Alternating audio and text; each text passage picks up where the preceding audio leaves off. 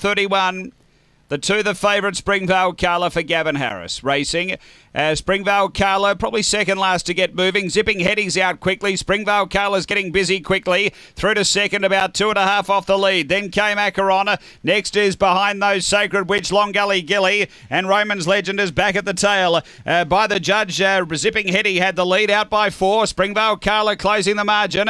Three away next is Acarona. Length back, Long Gully Gilly. Then Sacred Witch and two to Roman's Legend. Back where they started. Zipping Heady by two. Springvale Carla really warming up now. Three or four away, Long Gully Gilly, the inside of it, Acheron. Uh, then came Sacred Witch, Roman's Legend, but Springvale Carla goes for home. Straightens clear of Acheron, getting the second. It's Springvale Carla in front, and the fave does enough. Springvale Carla beats uh, Acheron, Long Gully Gilly, and Sacred Witch, and then Zipping Heady and Roman's Legend back at the tail end. The time here is around 43 and 40. It could be a new best run. Here it is 43 and uh, 44, a new best time for the winner.